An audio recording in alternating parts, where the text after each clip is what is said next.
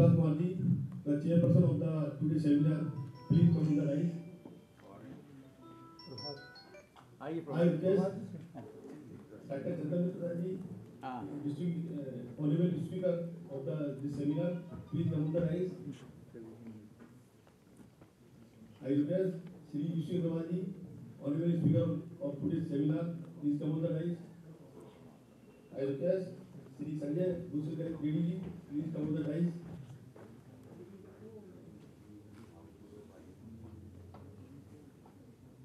I request our central president. I request our central president, Dr. Ivan Nandi, please come on the rise. Our chapter president, Dr. Sasi ji. And uh, our chairman of the research committee, Sri Srinivas ji, please come on the rise.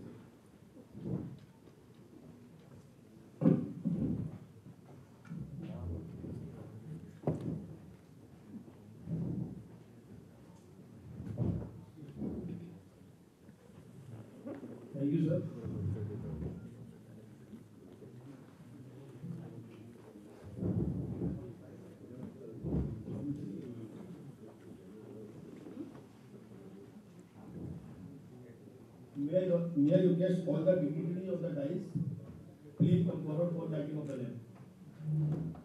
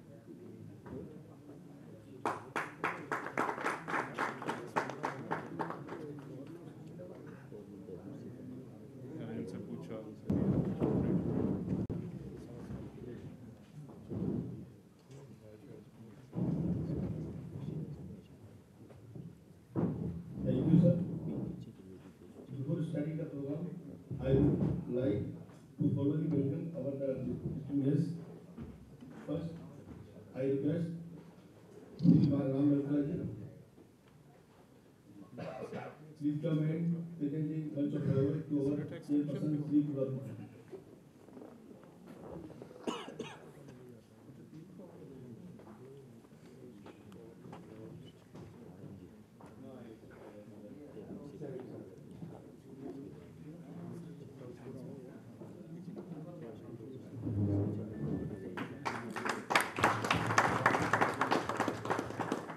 I request Shri Hari Goyal ji, please come and present the bunch of flowers to our honorable speaker, Dr. Chandan Mitra.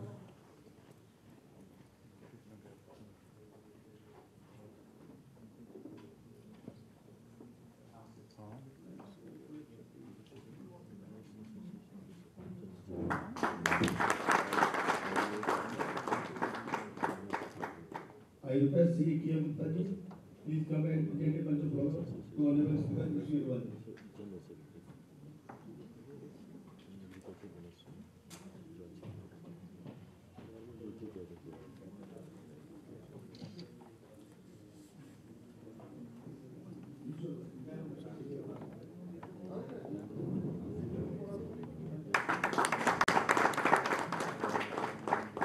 I request Dr. V. Jain please come and present a bunch of flowers to Sri Sri Sanjay Bhoosreddy.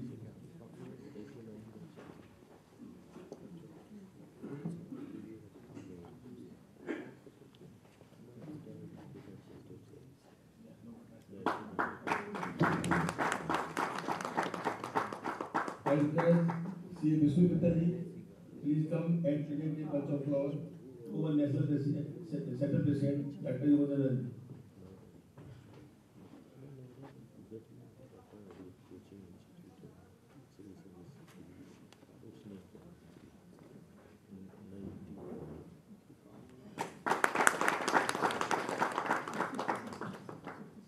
I request C. Pramod Masri, please present a bunch of flowers to our chapter president, Dr. Sanjay Singh.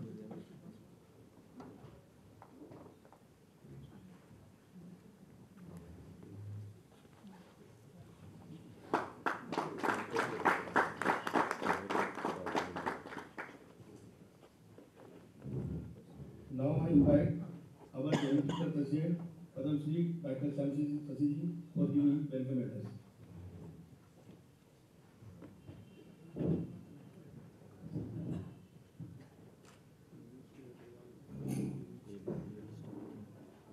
Friends, I'm delighted to welcome you on behalf of myself and my fellow members of the International Women's Society of India, Delhi chapter, to a seminar on the changing role of the civil services in India. Give a big hand to all our enemies. Before I introduce my guest to you, I would like to pay my heartfelt tributes to our founder president,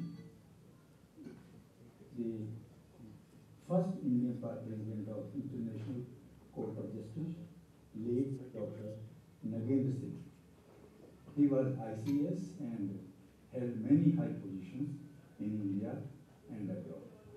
IGSI is following his mission successfully.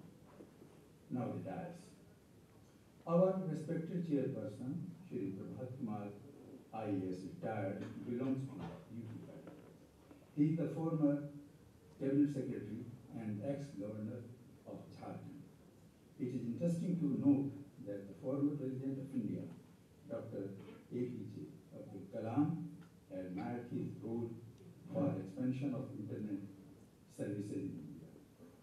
We welcome you, sir.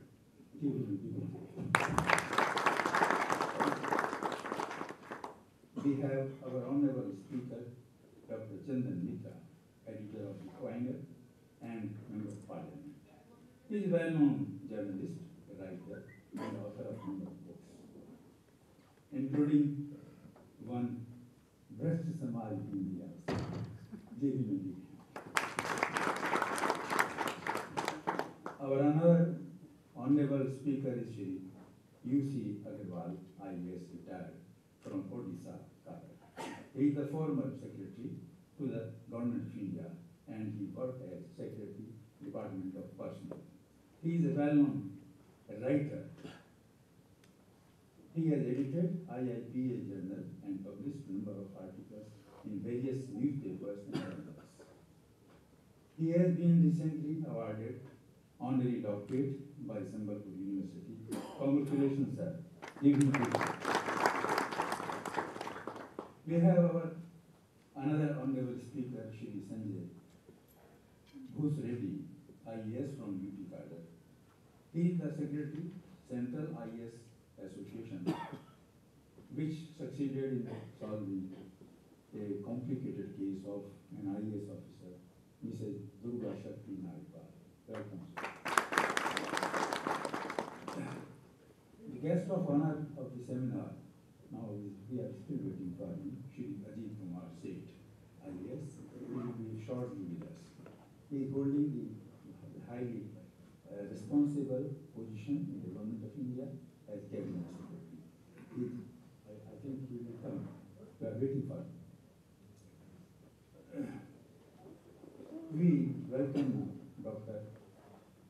Yogendra Narain, IAS, retired uh, from our family of IAS. He the center president of our society and an inspiring personality for all of us. As regards his contribution to the country, he worked as chief secretary to UP government, secretary defense government of India, and secretary general of Rajya Sabha. He was the first chairman of National Highway and the first chairman New Pension Scheme Trust. And again, the first chairman, Greater Noida Industrial Development Authority. He is an established author and a poet as well. Give him a big applause.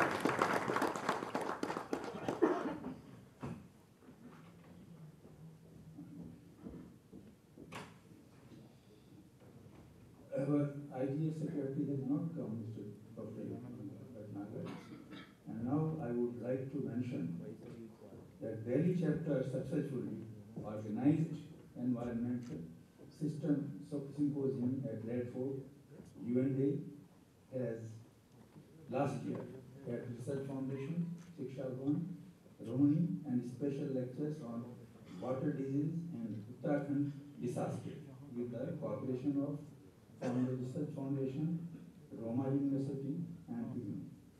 Some students are sitting here, I think, from Roma University. And the, uh, we have the report to be published in, soon in the special number of Savyata Sanskrit. Now, among the audience, we have some more dedicated scholars, writers to be mentioned. Professor S.S. Bhargava is the director, Institute of UN UNESCO Studies, once headed by Dr. Nagendra Singh. Can you stand up, please? Dr. We have another writer, uh, Mrs. Santosh Khanna. She's the editor of Vidhi Bharati, dedicated to law and human rights, and uh, she she has been in parliament as senior officer. Can you stand up? Give her a big hand.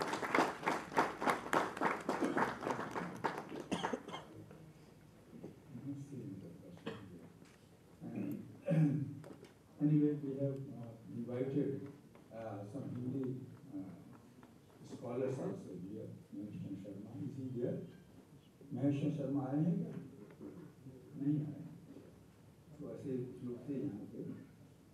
Now I will say only one uh, para about the, uh, what management and what the subject is. The subject you know, the civil, the changing role of the civil services. So my role is, as the president of IGSI, is over. To welcome the distinguished guest is over. I would like to say that the theory of MBO, which I learned in Manchester University, UK in 1982, along with my IIS friends, is altogether changed in the present scenario. The management of Sthita Pragya in Gita, that is being balanced in all respects, is still exists. Well, I am not going to speak on the subject as we have to listen the valuable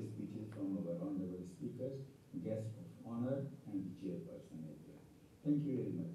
With you. I'll just say one thing more. We lack in love and affection nowadays. The time is changed. हम लोगों में हिंदी में भी दो बात हो जानी चाहिए जो लोग भोजपुरी में बैठे हुए हैं हमारे समाज में इस समय जो स्थिति हो रही है वैल्यूज़ नहीं संस्कार नहीं जिसकी वजह से हमें ये सेमिनार करनी पड़ रही वरना इसकी आवश्यकता ना पड़ती सिविल सर्विसेज़ का जो चेंज हो रहा है रोज चेंज हो रहा है आखिर क्या आवश्यकता है इससे क्योंकि हम घरों में ना तो वैल्यूज़ देते हैं न संस्कार देते हैं उसका परिणाम ये हो रहा है कि हमारे स्टूडेंट्स जो बच्चे पढ़ हैं वो एम बी ए बन करके आई एस बनते हैं या विदेशों में जाते हैं लेकिन वे मानव जो बनना चाहिए जो रूप होना चाहिए वो नहीं हो पाता है इसीलिए भ्रष्टाचार जो हमारे मित्रा जी ने किताब लिखी है डॉक्टर मित्रा की पुस्तक आपने पढ़ी होगी भ्रष्ट समाज हिंदी में भी है किताब मैंने छापी है मैं समझता हूँ कि एक हमारे लिए मार्गदर्शक की तरह से वो किताब है तो इस तरह के काम जो हो रहे हैं मैं समझता हूँ कि हमारा ये आज का जो कार्यक्रम है मेरे साथी बैठे हुए हैं उनके बारे में ये बोला है तो वो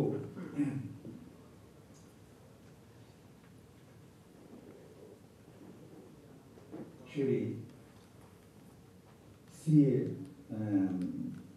मेरे बराबर में बैठे हैं। Admire I admire my team particularly secretary Delhi chapter C A Deen Dayal Agarwal he. Has work hard to organise the seminar in corporation with Shri C A Sunil Arora chairman reception committee and other members, namely Shri Ram Mehrotra, Vice President, CA, Pramod Maheshwari, Vice President, Shri Anil Jain, Joint Secretary, Shri Yogesh Kumar, Joint Secretary, Dr. Amit Jain, Treasurer, and others, of course. I should admire them and congratulate them for the successful seminar. We have got one uh, editor of Satyata Sanskriti, uh, Dr. Yogannath Sharma Arun, is the chief editor. Uh, he's from Roorkee and he's our IGS member. And he's second member, Dr. Richa Singh. She's sitting here, give her a.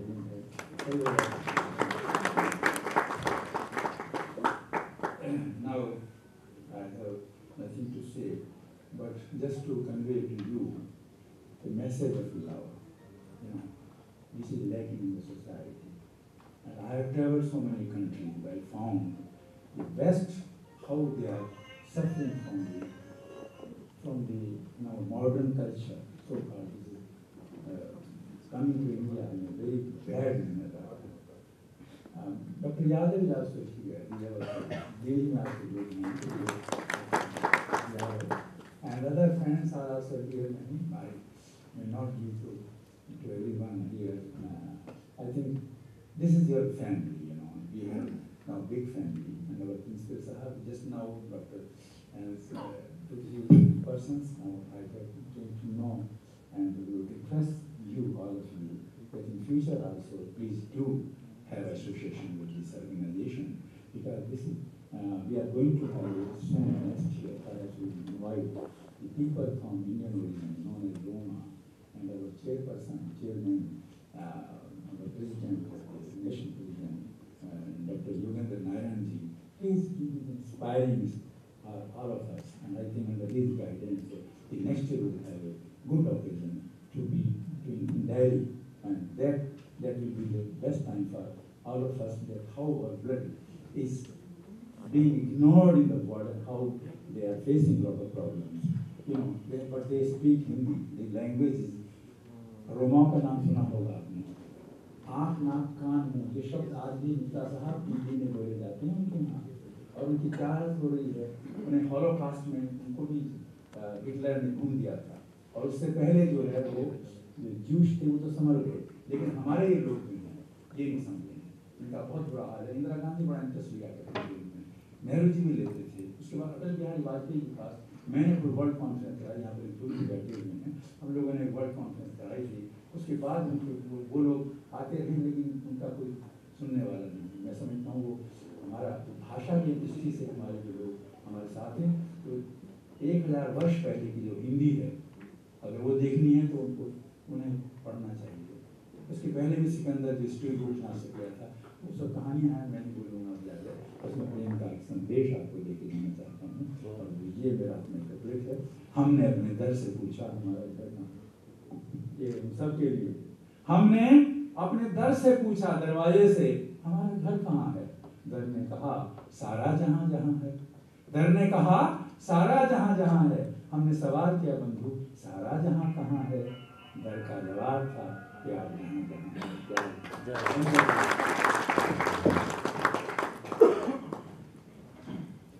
you, Dr. Saab. Now I invite our Central President, Dr. Gandhi, for his introduction remarks.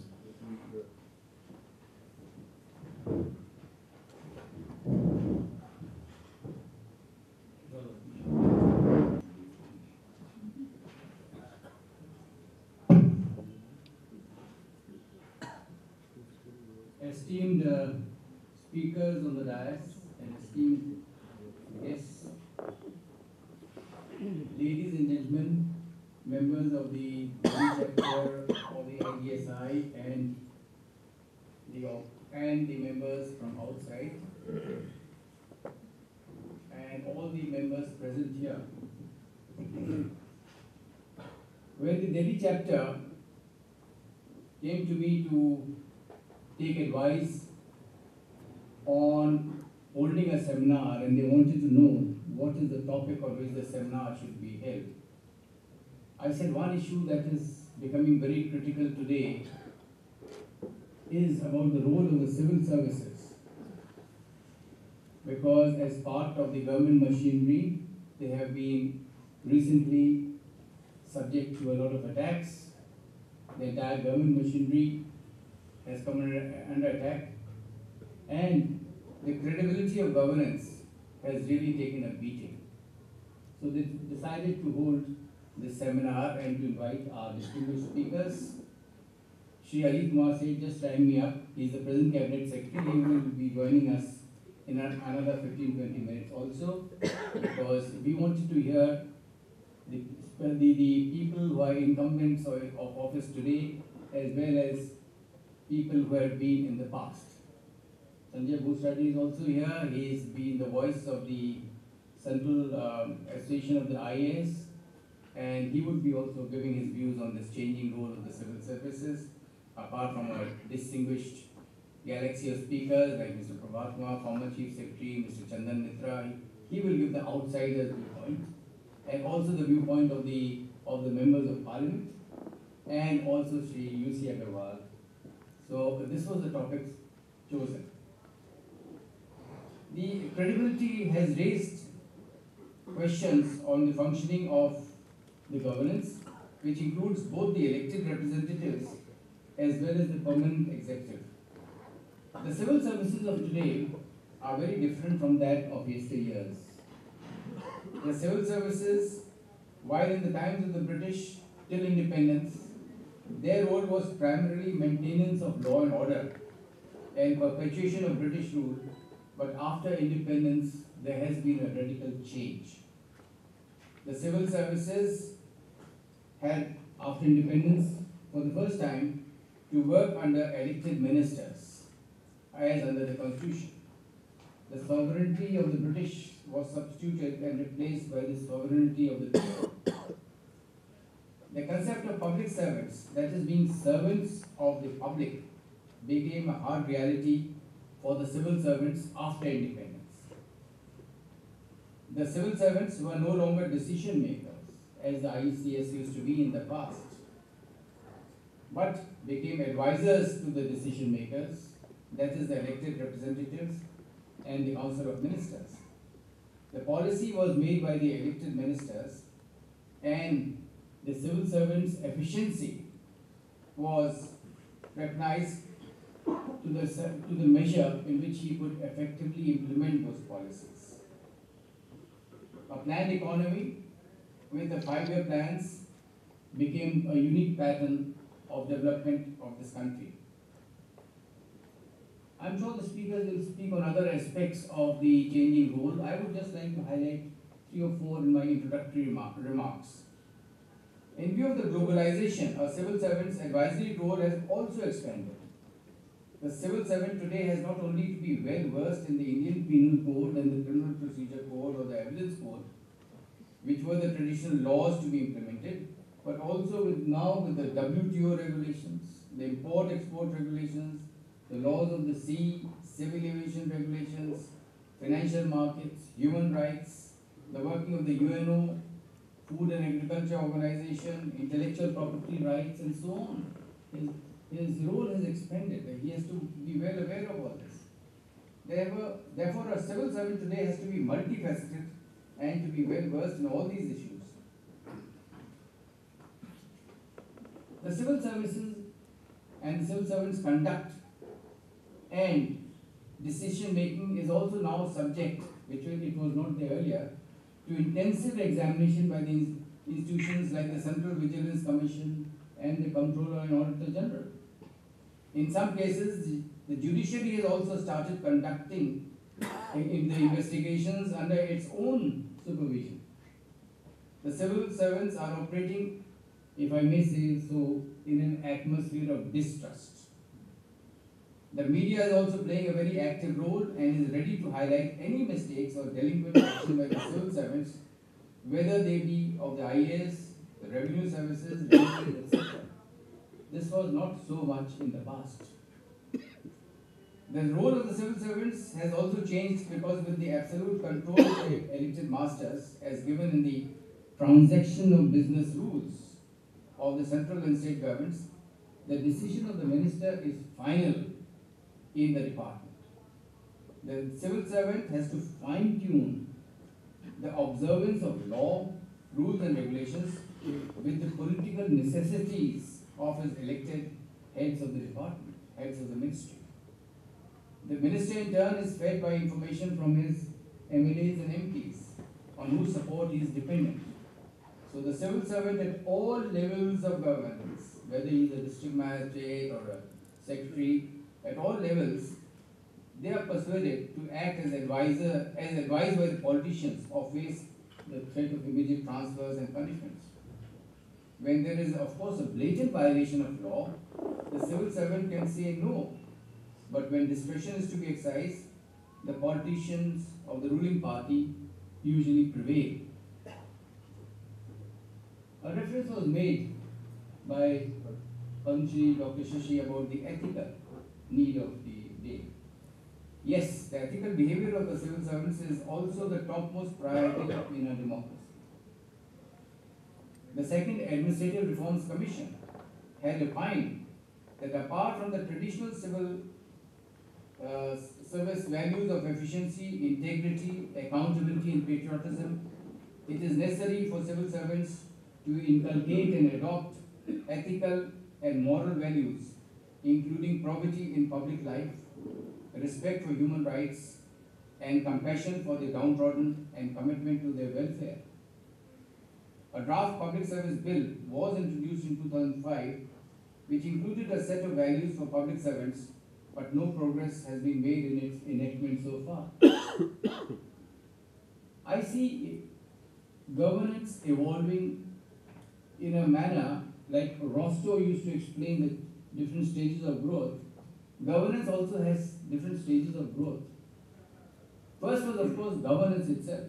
And I think that was introduced by the Britishers uh, in the modern concept from 1600 on, onwards when they governed India. They introduced governance as we know governance. After independence, we, we uh, developed into what is we can call a good and caring governance, a good and caring government. It has to uh, care for the welfare of the people. After 60 years, I think people are now realizing that what we need is ethical governance, higher form of governance. And I'm sure as these various stages of evolution of governance come into being, different roles and different concepts of governance will come into being and different demands on the civil servants will also come into being. So friends, our distinguished speakers will speak on the changing role of the civil servant. The environment has changed rapidly.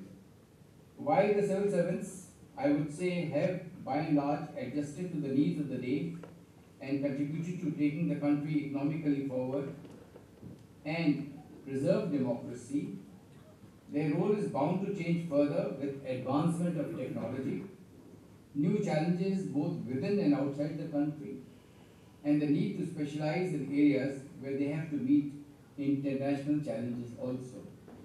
These are the changing facets of, of the civil servants and the demands that are required of them today. I will, these are my introductory remarks and I'm sure the panelists here, distinguished panelists will further expand and give their own views also. And I hope it be an interesting and very educative uh, seminar that we are going to have today. I would like to congratulate the uh, Delhi chapter president, secretary, and all the members for organizing it in this grand manner. Thank you.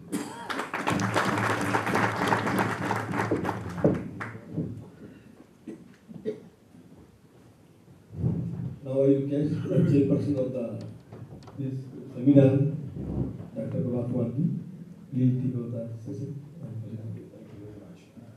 Thank you. Good morning, ladies and gentlemen. I think uh, Dr. Shashi and Dr. Yogendran, they have given a very good introduction of what the subject is going to be. And I don't want to lose any time because I want to hear Sri Chandan Mitra, who has threatened to leave by eleven thirty.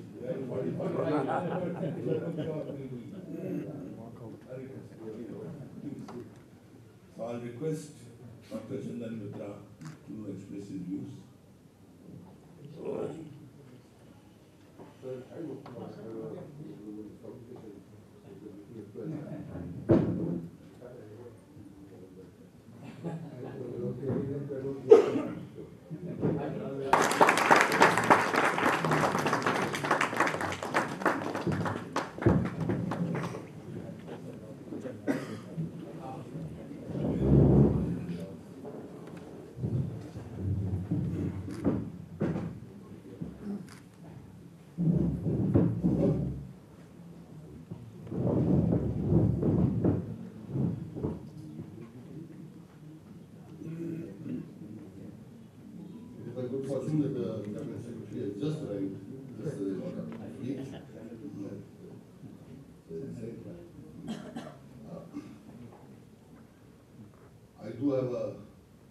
Time constraint, so please excuse me that I will not be able to stay for the rest, much of the duration of the seminar. Shri Padma Shri, Shri S. Shashi, Prabhat Kumar ji, Dr. Yogendra Narain, Shri C. Agarwal, Sanjay Bhoosreddy, and C. S. Sunil Arora, Deen Dayal Agrawal, distinguished guests in the audience, very senior, some were very senior, some retired, and some young boys and girls who have come to this seminar today, which is is on a subject which I think is very well chosen by the Goodwill Society of India. Because this is a subject which is very important at this point of time for policymakers and implementers, policy implementers to ponder. Then what exactly is the role of the bureaucracy that exists and what are the changes that are required in the years to come to conform to people's expectations, to conform to political realities, and to be in consonance with the idea of taking India forward as a, as a powerful nation in the world, not just an emerging market, but a developed society. Before me, Dr. Yogendra Narain has put it very succinctly. He's always, he's always been a brilliant person, for many years, and he put it very lucidly by identifying three stages of the evolution of governance. Of governance, governance itself, the idea set up by the British, impartial, dispassionate, but supervised, detached. Then comes governance, which is good and caring. The greater involvement with people, to try to resolve their problems, try to understand the needs of the people, good and caring. And third stage is ethical governance. I'm sorry to say, ladies and gentlemen, yes, we have tried to set up a good and caring government, government, governance, but we are moving further and further away from ethical governance. And this is a very serious challenge. Now, I do believe that you see all the problems of ethics that have arisen now, which you read about in the papers, which you see on your television screens. This is not um, just an immediate phenomenon. This has been there. But I think there is much greater, almost microscopic issues. An active media, an active civil society, NGOs, the deepening of democratic institutions with the setting up of third layer of democracy, namely the panchayats. There is much closer examination and need for much greater interaction between the civil service, bureaucracy at various levels, and the people and their elected representatives. Before I come to the main point, I just um, also want to um, outline some, a bit of a historical background of the evolution of Indian bureaucracy since independence in terms of anatomy of bureaucracy. Bureaucracy at one stage was the only interaction. The civil service was the only interaction between the ruler and the ruled in colonial India, or even before that. Because the ruler was too far. In the British period, the ruler was 7,000 miles away, sitting in London. And his or her appointed representatives, starting from the Governor General or Viceroy, right down to the district magistrate, were representatives of His Majesty or Her Majesty and had to interact and had to interpret the government's uh, policies to the people. It was the only interface. There was no elected layer in.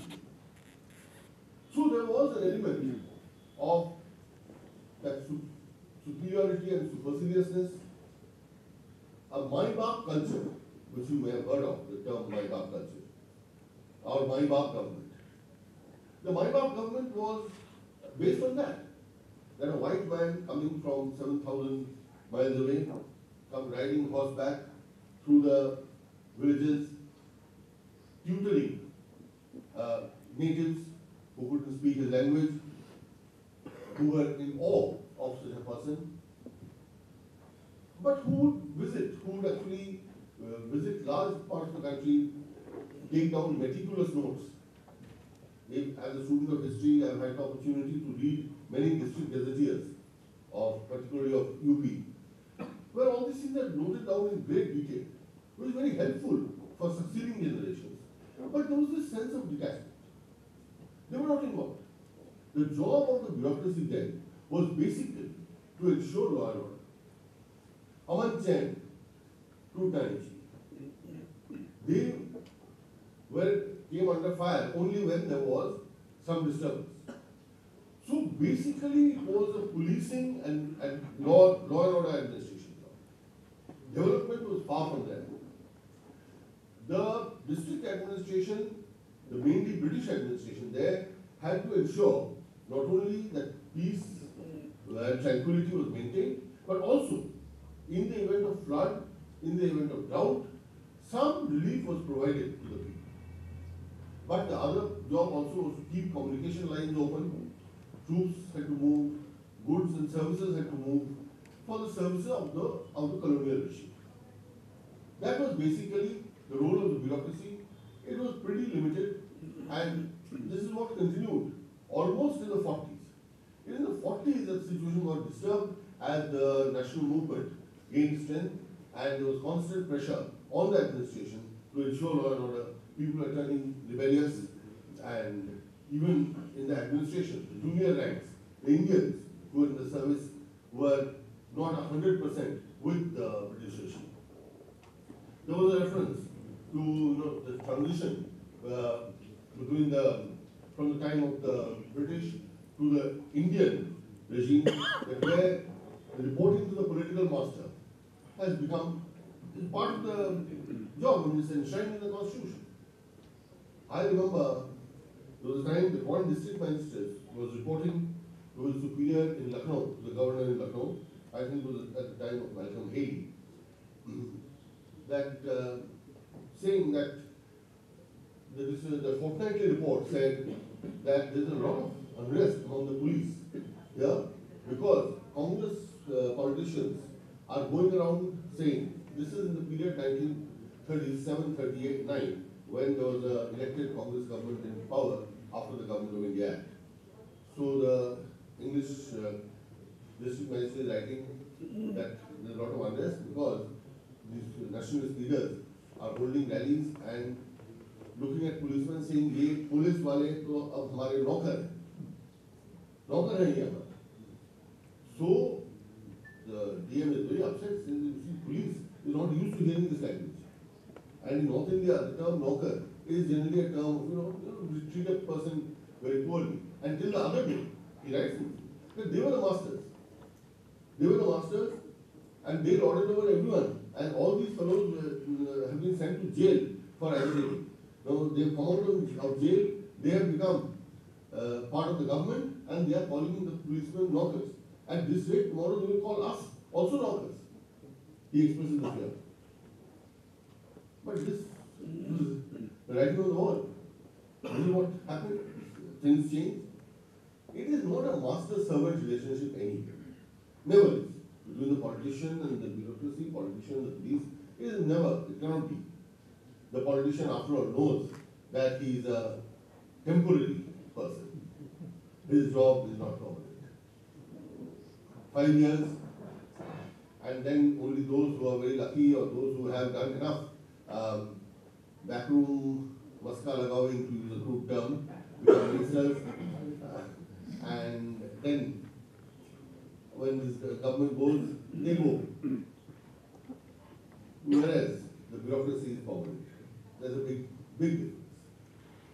And, that, and that's important. That is, that also must be, because after all, the continuity of governance, the continuity of governance and its evolution, from governance to caring governance to ethical governance, this has to be actually undertaken by the bureaucracy itself. There will never be continuity in the political regime. So this is something I would urge all of you to keep in mind, especially I think the younger people who are joining the bureaucracy. They must know uh, major role, a major role that is bestowed upon them, is to examine how to make this transformation. They must evolve. They must codify. They must suggest how this will change. But anyway, come back to what my main point, that from the Ma- Maibab situation, even when the political power changed hands in 1947, the character of the bureaucracy did not undergo much change. The color of the skin changed. Sahibs were replaced by those whom we derisively called brown sahibs. But because many of them were part of the old system, and even the newer people who came in were part of the same culture, the elitism of the bureaucracy remained the same. It was elitist and it continued to be detached for a long time. But our political leaders, they were morally better people. And I say this, I mean it in all seriousness.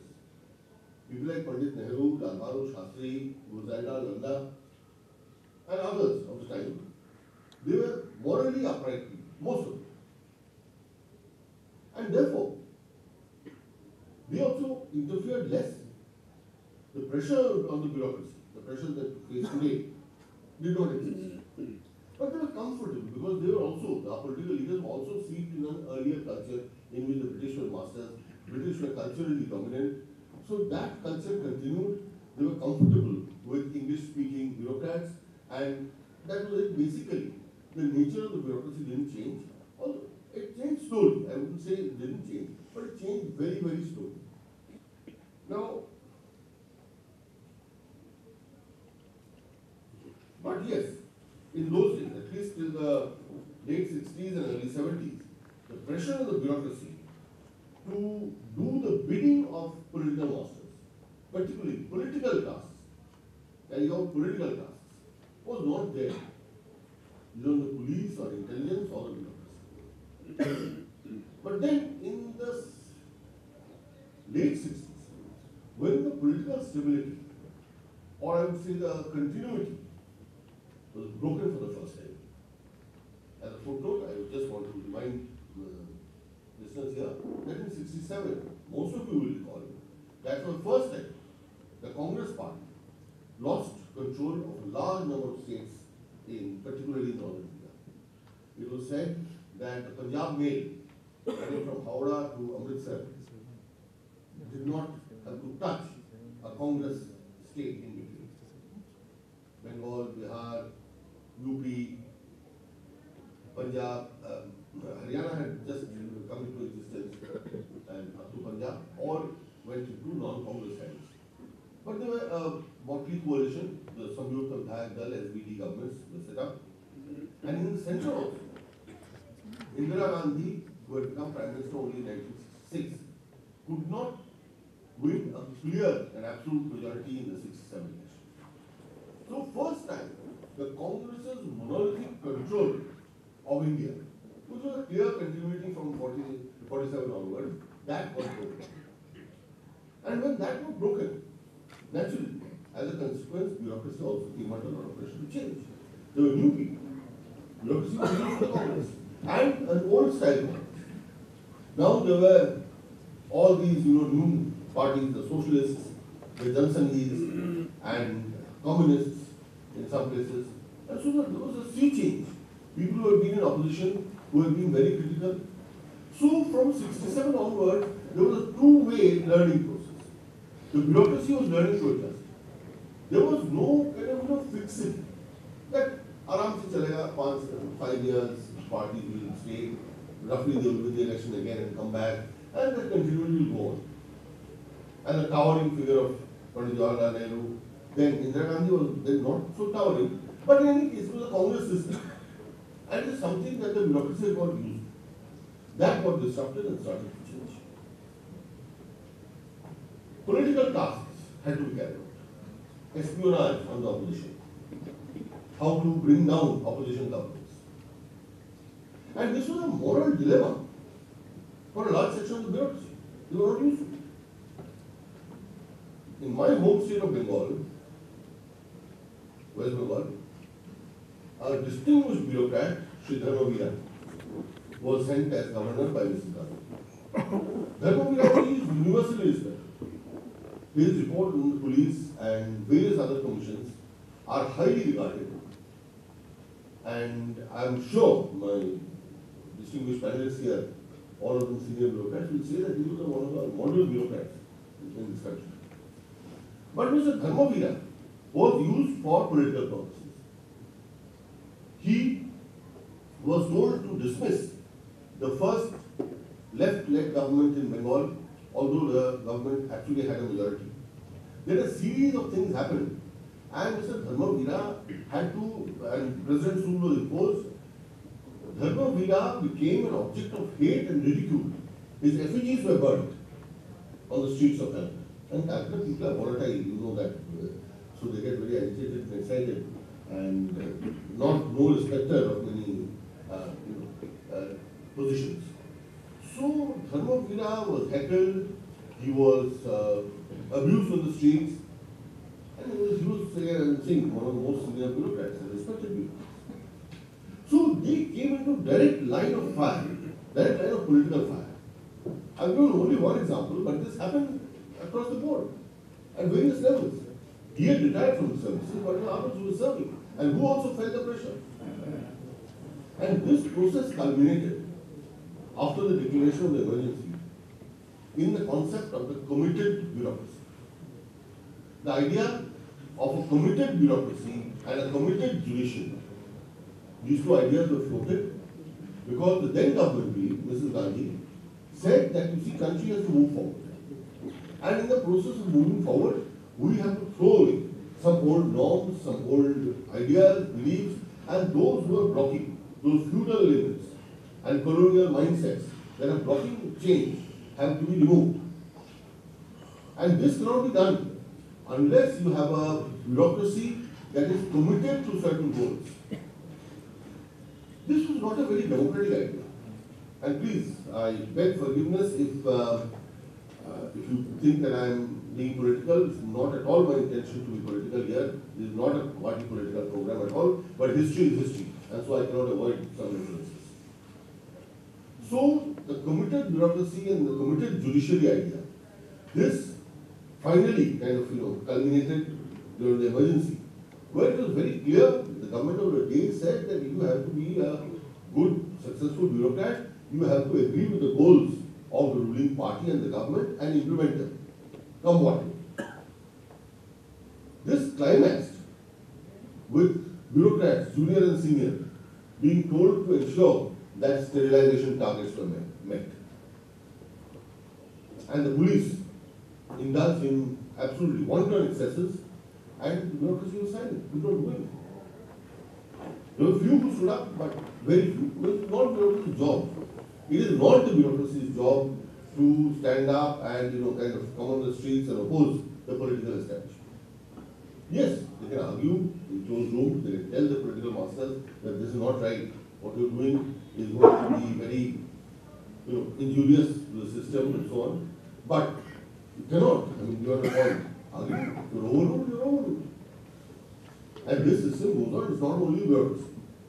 In my newspaper also, once the editor overrules, editor's ruling stands. Nobody can continue. Um, and if you don't agree, resign and leave.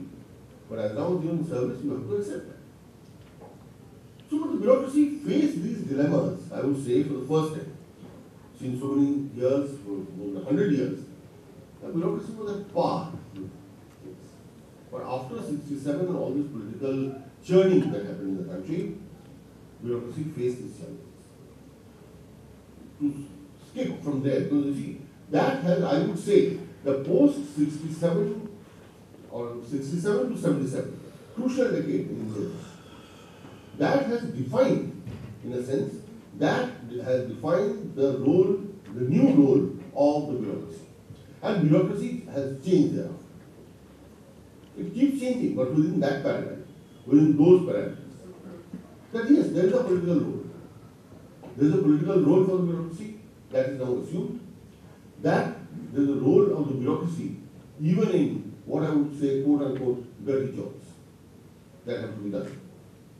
That includes in some states, I'm told, and I wrote a book on this as uh, very uh, thankfully mentioned, uh, called Corrupt Society, which I focused a lot on the UP bureaucracy in particular.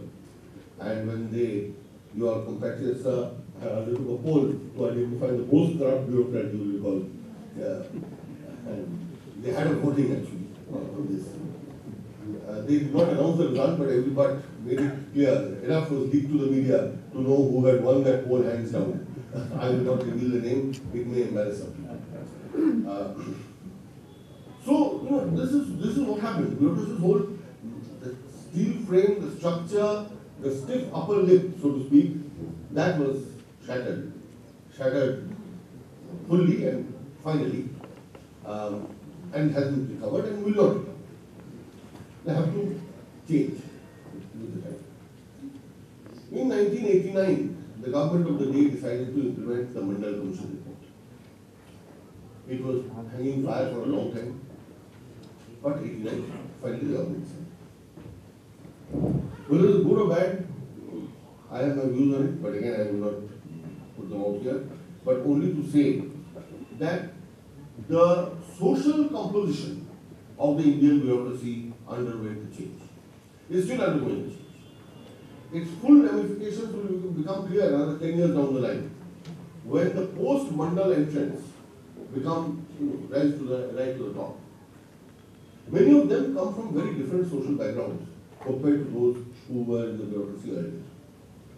So the elitism that I mentioned, the aristocratic temperament, and you even not use terms like elite or aristocracy, but at least people were from well-to-do backgrounds, they were educated, generations of bureaucrats, grandfather to father to son, lovely oil paintings uh, in their houses showing uh, their um, uh, grandfather who was obviously restored at some point, Rai Bahadur or something.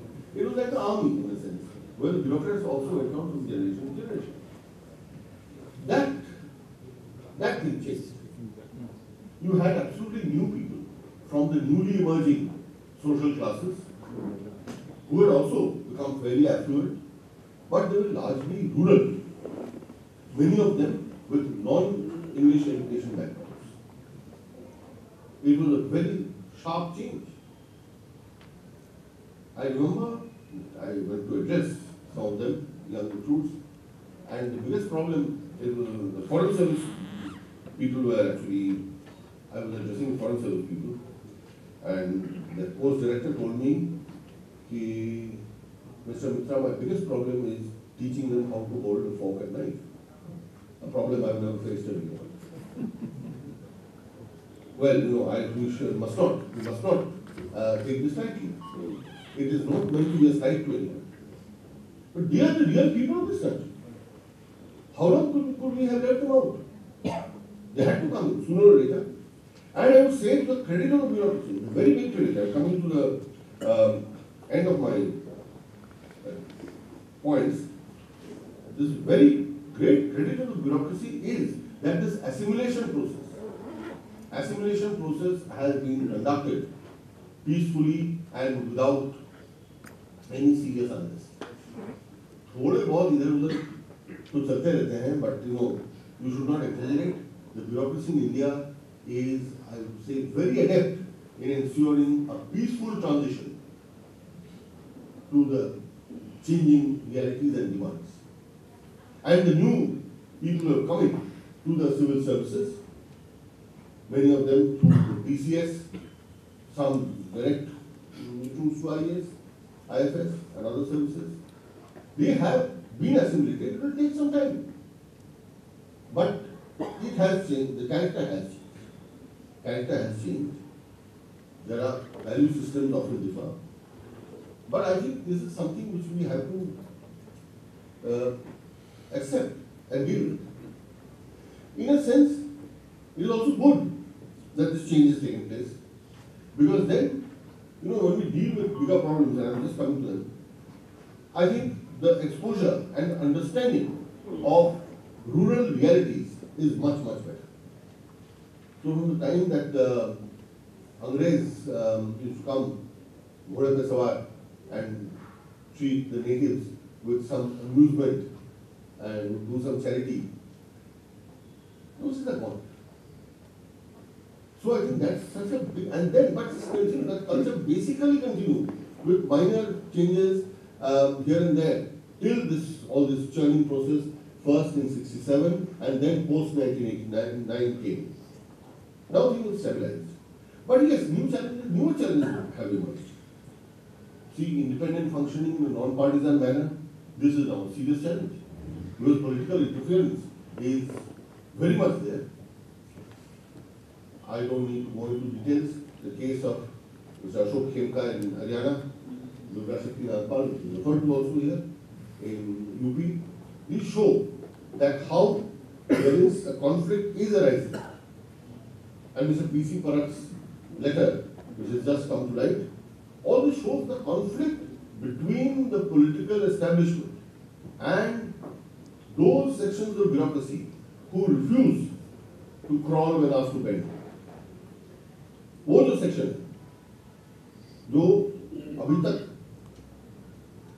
गिड़गिड़ा नहीं रहा वो जो तबका है उनके बीच में जो संघर्ष है वो मैं समझता हूँ कि आगे से और बढ़ता ही है।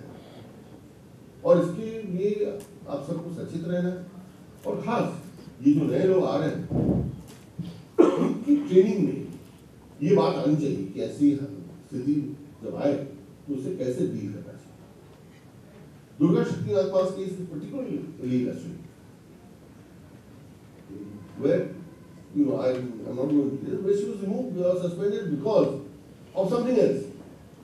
And this very often happens. And what, what does the bureaucracy do under these circumstances? And what lessons do they take from this? This, as I said right at the outset, you have to listen. Yes, the media is very alert today, and I'm very proud of the Indian media for all its follies, all its faults, all the shrieking and shouting. Without the media, many of these issues would not have come to light, would not have been highlighted. So some excesses will happen every time a new phenomenon happens. So yes, media sometimes indulges in excesses. But the fundamental contribution is that the rights and duties of citizens has been made very, very clear through the media and people have a friend in the media.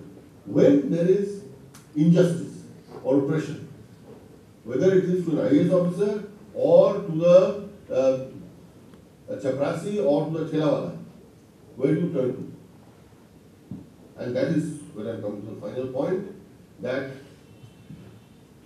independent functioning in a non-partisan manner, restoration of idealism, which is very important, that I think the seniors and the- that those who died must instill in the younger people, the value systems that Shashi was talking about. The, how to, how to at least fight corruption. I'm not saying bureaucracy can end corruption. It is not bureaucracy's fault. And very often bureaucracy is helpless. I have always believed that look, no one or two people or no, no one part of the system can correct everything. At least in corruption, if there is that much value in a bureaucrat's mind, then I will not be corrupt. And I will not allow corruption knowingly happening anywhere What is beyond you is beyond. तो at least कुछ practical गोल सामने रख के चलना चाहिए ये challenge है और finally there is you see all these changes the final thing that has to come in is the sensibility today the biggest problem as the prime minister himself has correctly identified is the problem of left wing insurgency